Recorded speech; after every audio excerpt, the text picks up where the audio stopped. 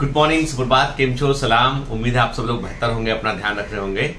और आप सभी को ढेर सारी शुभकामनाएँ नए साल के लिए।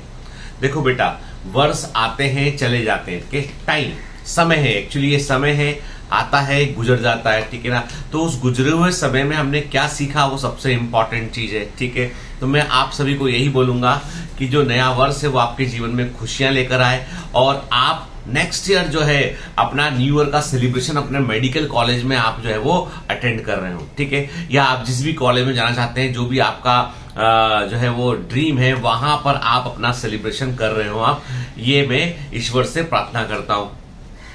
लेकिन क्या सोचने मात्र से काम हो जाएगा? नहीं, हमको जो है वो अपने आप को जो है वो रोज अपने आप से ये बात कहनी होगी कि वक्त बीतते हुए वक्त के साथ हम क्या सीखते हुए चलते हैं।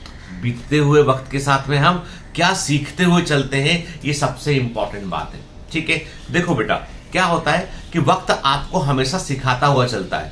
कई बार आप सीखते हैं कि लोग आपका अपमान करते हैं, या आप जो है वो लोग कोई धोखा देते हैं, उससे आप सीखते हैं, ठीक है? कई बार क्या होता है, कई बार हम सीखते हैं कि दूसरों के अनुभव से, कि दूसरों ने क्या महसूस किया था, क्या हुआ था तो उन स्टोरीज को दिमाग में रखते हुए हम सीखते हैं, ठीक है? मैं ये नहीं बोलता हूँ कि आप असफलताओं की कहानी को आधार बनाकर आप आगे बढ़े, लेकिन दूसरों की असफलताओं से ये ज़रूर सीखें कि वो असफल क्यों हुए थे, क्या कारण इसके पीछे हो सकते हैं, ठीक है? ताकि हमें वो चीज़ों को दोहराना ना पड़े। यदि हमने अपने अनुभव करते करते सीखा तो हम में और बाकी दूसरे जानवरों में कोई फ़र्क नहीं है। इंसान की खास बात यह कि इंसान दूसरों के अनुभव को भी, से भी सीख सकता है, उसको उतारकर वो आगे बढ़ सकता है। ठीक है? मतलब आज यदि हम पढ़ने बैठते हैं तो हमें पाइथागोरस की थ्योरम जो है वो खोजनी नहीं पड़ती है, ठीक है? हमें जो है न्यूटन्स लॉ ऑफ़ मोशन या डॉपलर इफ़ेक्ट हमें खोजने नहीं पड़ते हैं, हमें पढ़ने होते हैं सिर्फ़। खोज कोई चुका है, ठीक है?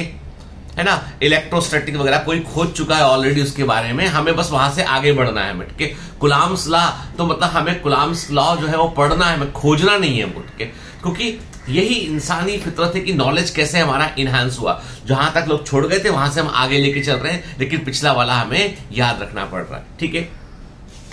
इसीलिए जब भी कभी आप दूसरों की कहानी सुनते हैं, कोई आपको यदि कहानी सुनाता है कि भाई मैं सक्सेसफुल कैसे हुआ और मैं अनसक्सेसफुल कैसे हुआ, दोनों कहानी में आपको बता दूँ। एक चीज़ है कि आपको ज़्यादा सीखने मिलेगा उस व्यक्ति की कहानी से जो फेलियर रहा होगा लाइफ में। क्योंकि फेलियर जो होती है वो लेसन के साथ आती है। फेलियर एक लेसन के साथ आती है। सक्सेस जो होती है वो एक अवार्ड के साथ आती है कि भाई क्या आप सक्सेसफुल हो गए, आपका टैग लग गया आपके ऊपर। आपकी हर कहानी को लोग सच मानेंगे। लेकिन सच्चाई तो ये है कि जो फेलियर की कहानी होती है ना जो हार की कहानी होती है ना, उस कहानी में कई सारे लेसन छिपे होते हैं। कोई भी दुनिया में ऐसा व्यक्ति नहीं है जिसने बहुत बड़ी सफलता पाई हो और जिसने कभी जीवन में एक भी फेलियर का सामना ना किया हो। कई लोग जो है वो कई बार फेल होते हैं, हर बार वो फेल होने पर सीखते हैं कि भैया मतलब मैं एग्ज़ाम में फेल होने की बात नहीं कर रहा हूँ, मैं जीवन के कई सारे अलग अलग डायमेंशन की भी बात कर रहा हूँ मैं। तो एवरी मैं कहता हूँ हमेशा कि सच्चा बा, सच्ची बात तो ये कि या तो हम जीतते हैं या फिर सीखते हैं। या तो हम जीतते हैं या फिर सीखते हैं। और सीख जो है वो कैसे मिलती है हमको कि भाई ऐसे करोगे तो ये काम नहीं होगा ठीक है? ऐसे करोगे तो भी ये काम नहीं होगा। तो फिर नया तरीका खोजना पड़ेगा उस काम को करने का ठीक है? तो मैं नए वर्ष में आपसे सिर्फ़ इतना ही बोलूँगा कि आप अपने जीवन में एक बात अच्छे से उतार लें आप कि हमको जो है वो हार नहीं मानना है। हमारे को यदि मान लो समय पर समय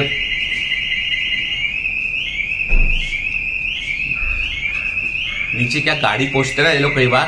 तो गलत जगह टच करते तो गाड़ियाँ बजने लगती है। खैर तो मैं आपसे बोल कि हमको जीवन में हार नहीं माननी, हमें हर बार सीख लेनी है, ठीक है? एवरी जब भी हम अपनी मंजिल से थोड़े दूर हो जाते हैं तो हमें लगता है हमें जो चाहते थे वो नहीं मिल पाया तो उसे सीखिए। सीखने के बाद अपने आप को तैयार कीजिए and then conquer and all the best